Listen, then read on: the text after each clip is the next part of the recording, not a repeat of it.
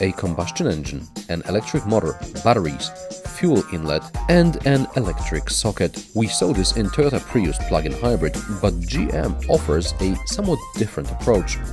Opel Ampera is the European Chevy Volt. I waited for this car many years, not just me. An electric car with a petrol range extender which uses up about a liter of gas per 100 kilometers?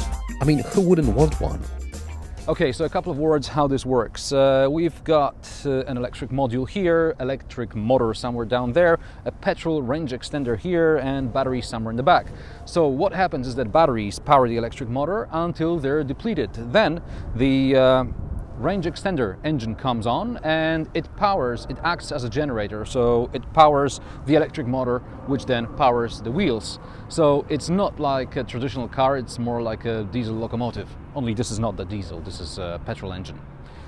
And all this, in theory, it uh, sounds brilliant, right? I mean, uh, you know, you're using uh, just a tiny wee bit of fuel, you're going on electric, and uh, hey, you know, why not? Uh, I'd be ready to pay almost 43,000 euros for this. But um, it's not as good as it sounds.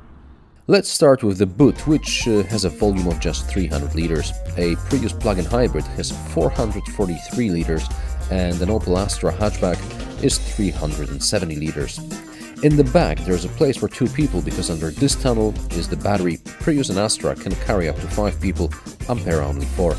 But then, how often do we carry three people in the back, right? In the front, the cockpit looks okay. On the two futuristic displays, there's plenty of information about the charge level, fuel consumption, driving style, and so on.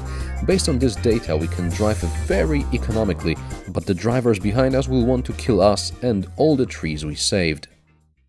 I've driven electric cars before, so I'm not surprised that the Ampera is also quite torquey.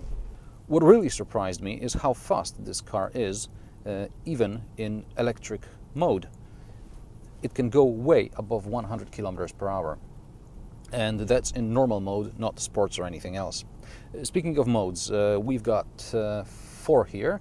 There's normal, sport, mountain, and energy hold. Normal is uh, what we drive in every day. This is uh, energy going from the battery, and when the battery runs out, the um, generator or range extender kicks in. Um, sport, the throttle response is sharper. Throttle, it's, it's an electric car. Well, but anyway, you get the point.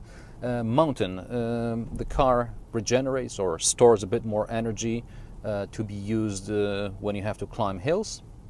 And then there is the uh, energy hold mode. Energy hold mode is um, for you to drive with the range extender while conserving energy in the battery so that you can use the battery and drive in electric mode, uh, let's say in electric vehicle only zones.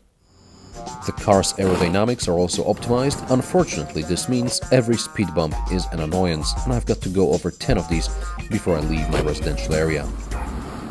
The manufacturer claims um, this car will do 40 to 80 kilometers in electric mode, that's more or less enough to drive to work and on the way drop your kids to school, spouse to work, then in the afternoon pick them all up and uh, you know maybe do some shopping.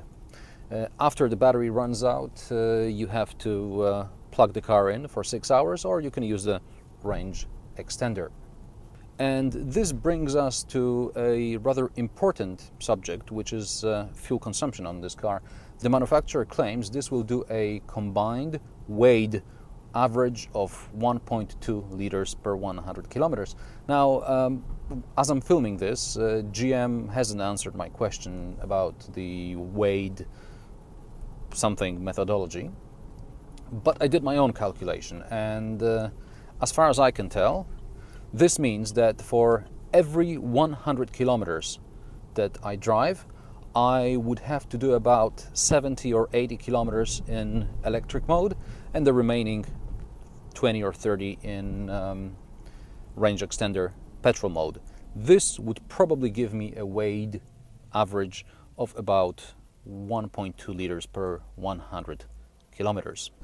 A couple of days ago, uh, on the weekend, I drove this car for about 500 kilometers outside of town, obviously. Uh, so the battery ran out after 40, 40 something kilometers, and uh, my average fuel consumption with uh, normal driving like everyone else, you know, not blocking traffic, that was above 6 liters per 100 kilometers.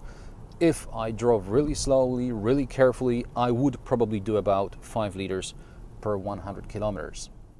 I agree the Ampera will spend most of its time in the city where it's usually possible to charge the car.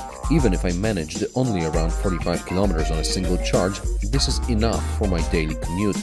The problem is the price because for 1 Ampera I could buy 3 Opel Astras or almost 2 normal Priuses or a Prius plug-in hybrid and I'd still have enough money left to buy myself a Skoda Citigo as a second car.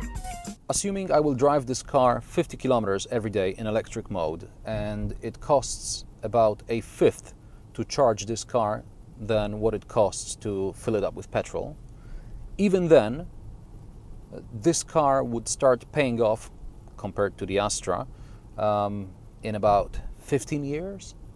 If I get uh, some sort of a eco uh, incentive uh, or uh, maybe um, you know, a tax exemption or, uh, you know, or I don't have to pay congestion charges, then maybe it will go down to seven or eight years. But that's still a huge, huge difference. For many years, we've been hearing that oil is going to run out one day and we'll all have to drive electric cars. And, well, the Volt here, this is at an early stage of this mobile electrification, let's call it but uh, it's an early stage which is good enough for enthusiasts and you know guys who like gadgets but in my opinion the drivetrain here the drivetrain that GM offers us with the uh, Chevy Volt or Opel Ampera uh, it's not a real alternative. I mean it's not a real alternative for the combustion engine. Not just yet